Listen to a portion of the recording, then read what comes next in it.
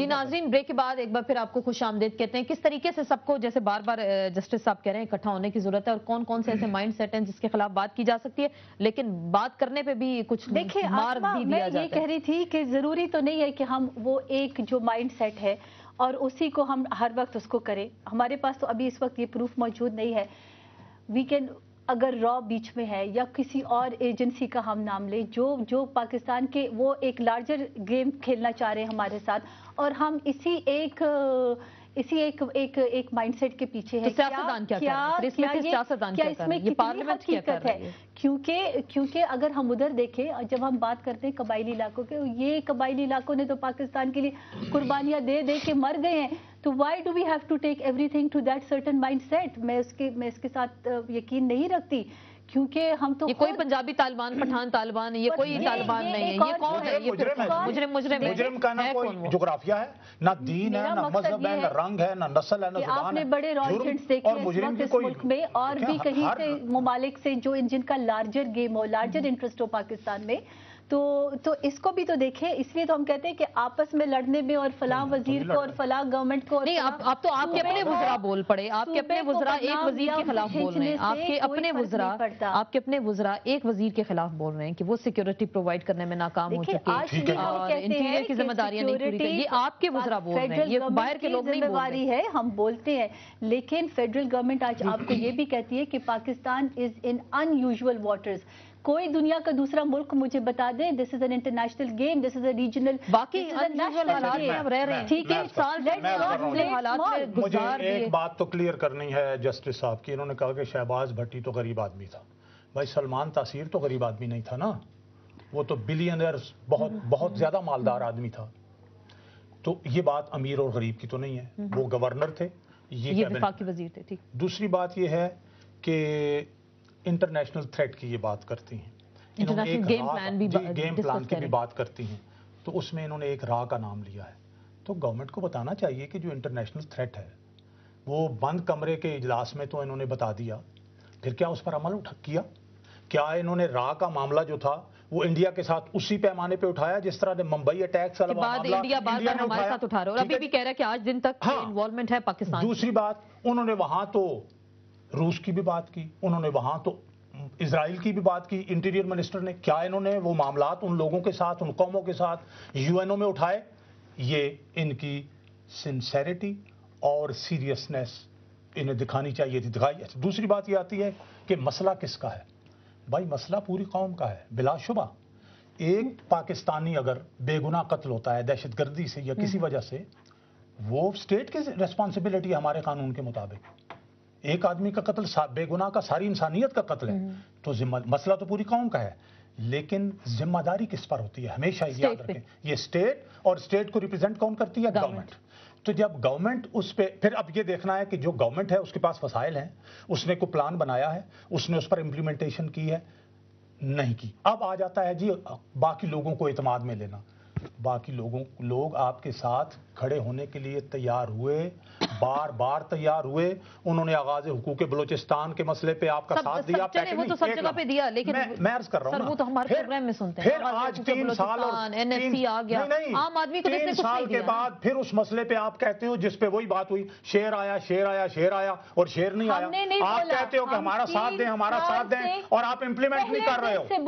आप इस काबिल नहीं हो सके ये इल्ज़ाम की बात नहीं है। मैं अर्ज़ करूँ इल्ज़ाम की बात नहीं इतना सा इस्लामाबाद है इतना सा। इसको कंट्रोल इस इस्लामाबाद में मैं मैं फिर आपके ज़रिए सवाल करूँगा। क्यों इस आदमी को जिसे बार बार सिक्योरिटी थ्रेट मिल रही थी क्यों उसको बुलेट प्रूफ गाड़ी नहीं अकलियती वज़ीर था उसने ये तोहिन रसालत के हवाले से बहुत सी तकरीरें की हुई थी कत नज़र उससे गलत थी।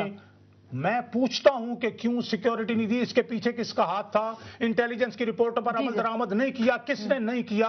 वो जिम्मेदार तो होगा ना। आप हमें कहते हैं होने की बात बार बार इकट्ठा होने की बात करते हैं। कहाँ नज़र आती है? हुकूमत में सियासतदानों में किस जगह पे? माइंड सेट से मेरी जो मुराद ये है कि एक बात तो क्लियर है ना कि एक आदमी जाता है खुद को हमला करता है या इतना बड़ा रिस्क लेता है किसी को मारता है। देखिए असल बात ये माइंड सेट इसका ये है कि जो लोग ये कार्रवाई कर रहे हैं जो भी पीछे है उनको मौत का कोई खौफ ही नहीं है। अगर ये जहन है हमने उसके उसके खिलाफ लड़ना है। और दूसरी बात भी, भी देखे जो मैंने इसको शाहबाज भट्टी का वो कहा कमज़ोर ये मैंने कमज़ोरी की बात की। वरना आप ये देखें देखें बाद वक्त पे कमज़ोर जोरावर चेंज होता है। मैं एक मिसाल दूँ भुट्टो साहब जो है प्राइम मिनिस्टर थे। लेकिन वो चीफ ऑफ़ आर्मी स्टाफ जो है जिसने उसको फांसी पर चढ़वा दिया वो उस वक्त मज़बूत हो गया। भुट्टो साहब बहुत कमज़ोर हो चुके थे। मैं उस कमज़ोरी की बात कर रहा हूँ। तो कहने की बात यह है कि ये देखे ना जिस किस्म की ये बातें हो रही हैं इससे मसला हल नहीं होगा। क्योंकि इसलिए जो भी सामने है अब मैं राव आके चक्कर में तो मैं नहीं हम्म। जानता लेकिन वो भी तो हमारी कमज़ोरी है। हम्म। जब तक उनको यह पता है कि हम बिखरे हुए हैं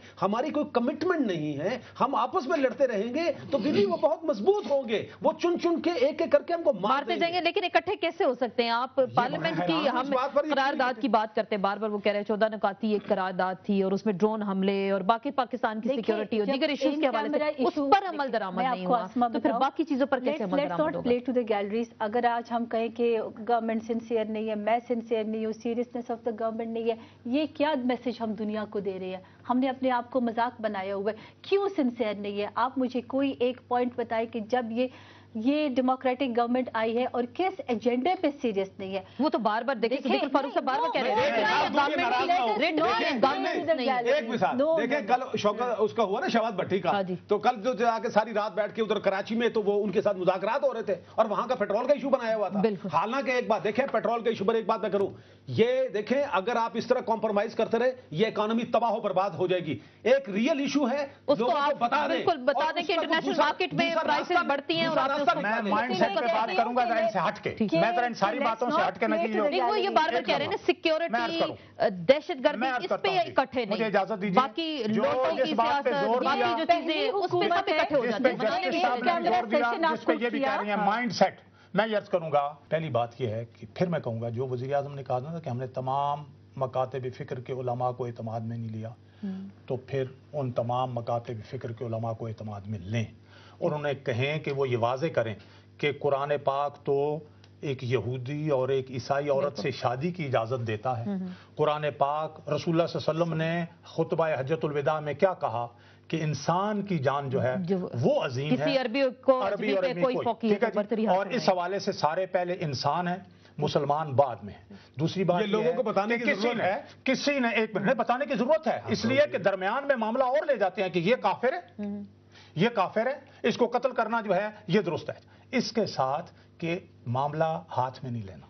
किसी पर कोई मुकदमा या किसी ने कोई गलत बात की है अदालत में अदालतें मौजूद है अदालत फैसला करेंगे इसके लिए जनाब कानून मौजूद है। ओलामा सियासी पार्टियाँ मीडिया और आपके जनाब अली तमाम टीचर्स और प्रोफेसर्स और जो लिखने वाले हैं इन सब ये मिलेंगे और ये जो जहन इस तरह के कानून हाथ में लेना सिखाते हैं और अपना अपना जनाब अली तरीका किसी को कत्ल करने के लिए उस पर काफर का इल्ज़ाम आखिरी बात ये इसका इसका तरीका ठीक करने की बड़ी अच्छी बात की बड़ी अहम बात भी उन्होंने की इस तरीके को ठीक करने की ज़रूरत है और सबको मिल बैठ कर एक लाए अमल देना होगा। मिल बैठेंगे कैसे? क्योंकि कोई वाक्य हो जाता है तो मरकज और पंजाब के दरमियान फिर मैं बार बार कहूँगी कि बयानबाजी शुरू हो जाती है। मुझे तो ये समझ है कि शायद आप ये बिस्मिल्लाह हमें ही करनी पड़ेगी। ये शायद आपको तो इब्तदा कर ले आप। अभी इसमें कोई अभी हम जिस मोड़ पर आज पाकिस्तान खड़ा है हम तो तीन साल से चीख रहे लेकिन शायद इनको आज एहसास हुआ है। जब हमारे हम जब ये बोलते थे तो कहते थे कि जी ये गवर्नेंस नहीं कर सकते इसलिए ये लॉ एंड ऑर्डर सिचुएशन को बात ले जाते वहाँ पर डिबेट शुरू कर देते। और खुद इनको जब मालूम हुआ तो लेकिन हालाँकि मैंने बताया कि हमने कहा कि जाए हमने कहा कि बलोचिस्तान और आपकी बात छोड़ दें हम सारे पाकिस्तानी हैं। और और अगर आप ये कहेंगे कि जी अब ये गवर्नमेंट देर बात चीज़ें होती है गवर्नमेंट को करने की। वी वी एक्सेप्ट कि किसी की जान की हिफाजत करना एक फेडरल गवर्नमेंट की जिम्मेवारी है। लेकिन लेकिन ऑन द सेकेंड लेकिन थॉट्स पाकिस्तान किन हालात में है इस पे भी हमें बताएँ। कोई दुनिया का दूसरा मुल्क बताए जो ये चीज़ें फेस कर रहा है जो आज पाकिस्तान फेस कर रहा है।